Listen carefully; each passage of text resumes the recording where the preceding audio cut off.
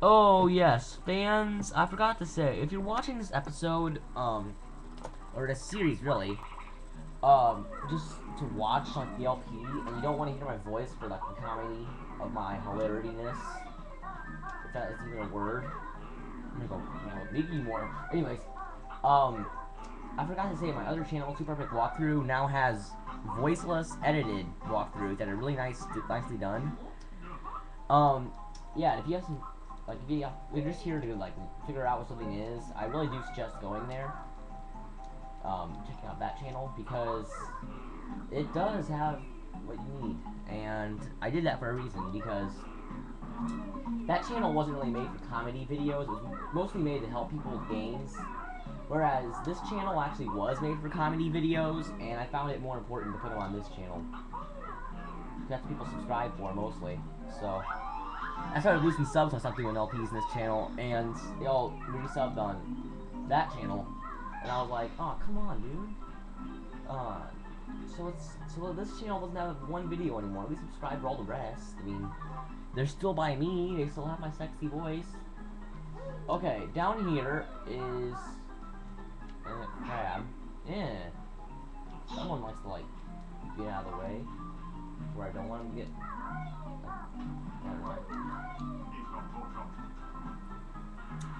yeah. I'm crazy today. And getting here. Should be five notes in there. Oh. Ugh. Okay. Um, here's a little tip for you. Um, I sort of think of it as like a mystical type thing. Between the two trees, well, I find the right trees first. This one's between these two trees.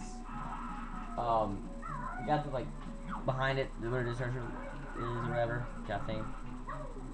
Well, anyway, there's some kind of, uh, some kind of there is a honeycomb right here, so that's the first in the level. There's two in this level, of course. Um, just like every other level. Ah, cheese and crackers. Just wait right there. Be honest, I actually crave that right now. Strangely enough. Oh, get back here. There we go. We have 60. 160 to be honest, because we have the ones from the last level. Um, a message to all N64 players of this game who are like who are playing right now, of course, who just got the game. Just be warned that notes you must get them all in one sitting. Follow the clues if you're looking for gold. Xbox users, um, they actually got smart and they said considering the sequel, you could save the notes. Um, and you need red feathers to go higher. That's not much of a loss because you know we actually get you actually get a lot of red feathers as you go. Um, red feathers and blue eggs are like everywhere in this entire game. Well, every five seconds you'll probably find one, or three in like one sitting. Usually like right there. Usually they come like sittings of three or five, or to come in like rings like this. Like that's a pretty good example of them. But we're just down here for the Mumbo token. And no, you can't search me.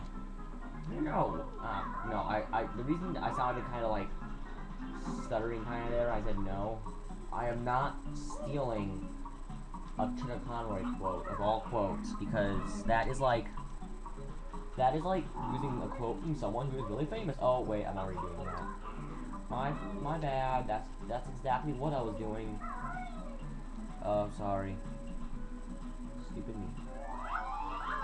Orange Jinjo right here. Um, pretty good job at hiding it, by the way. I didn't find that one the first time playing this game. I was lucky. And right here is the hardest Jiggy in the level, in my opinion, because of where it's hidden. Yeah, um, if you manage to find that without help, I have to say congratulations, because you're pretty good at finding Jiggies in this game.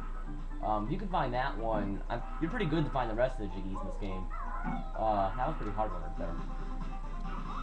Because they're pretty, they're pretty well hidden so, near the end. And they're about that well. And that's pretty much near the beginning. You're gonna have, you're only gonna have a one Jiggy that's really well hidden. But then near the end, about like eight or nine of them would be well hidden, and only like two would be like right in the open. And eventually, you become like so well hidden, you're just like barely have you have like really like trouble. You're gonna have a lot of trouble finding them. talk properly today. And I'm not gonna take a musical note. Dang. Dude. Cool. Hit that thing right there, and we'll go get the notes I missed. Um, what else is there I did recently? On recent news on my channels, I've managed to um, get something like Mario based for my Super Epic walkthrough page at least. I covered it with stuff Geno from Mario RPG. He's like the best character ever. Slam it! And we go this way. I lot of people love that character, and they say like they're always mad because he was taken out. But um, he was only in there because he was one of the people who needed the help, and it only made sense to have one with you. And they're always arguing that like people like him are taken out, but I don't understand. Like, I think have Bobbery from Paper Mario: A Thousand Year Door. That was like an awesome character, like the awesomest actually. And they just like take him away, and let's hit this and see what happens. Oh my gosh, treasure chest. No, we're not. I'm using the wrong voice. I want to use NCS. Chuck Conroy's NCS. I always get NCS Chuck Conroy confused when I'm talking too fast. Okay, I will use NCS's voice. No. Oh, crap. I usually, I usually, I believe it or not, I actually do it a lot better usually. Like I get the identical voice, and like right now I'm just like, no. Like fake voice. It's funny. Let's give him his treasure real quick. I forgot to do that. Get over there. I that feel only half of its gold. What? Who puts their gold in two separate areas of the ship? You just put it in one really well hidden area, and then no one will find it. Probably gonna lose half your gold if someone finds it. And Banjo was really generous, by the way, because like Banjo was really generous to actually find all this gold and give it back to the owner. I mean, there's like about like 20 gold ball, gold, gold balls. What the fuck? Gold bars total, and he's just like giving them all back to the, pirate dude. Me treasure. Thank you, Hades. Take this reward. I'm off to spend, spend, spend. Looks like a pirate or some kind of like grandma from a cartoon or something. Oh well. And we have 28? Dang, we're actually really far in this game. Okay, um... Right there's the token I'm going for. I'm gonna go for it. Swim for it, Banjo! Coffee and mints. I'll be right over. Darn it, another one of my cravings.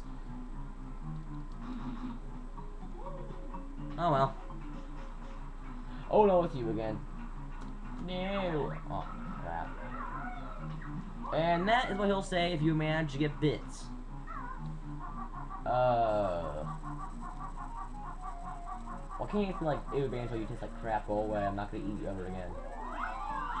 And there's a Jinjo I forgot to get because I have a problem with forgetting things. Get off there.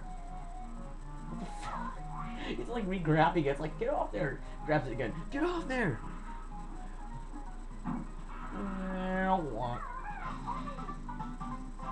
There's a Jiggy in there. That was a fail at hiding.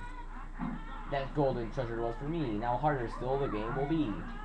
That's a lie. The game is um going to stay at same difficulty. Don't think like the enemies are stronger or something. Uh other than the fact that you don't have to go near him again, that's that's new.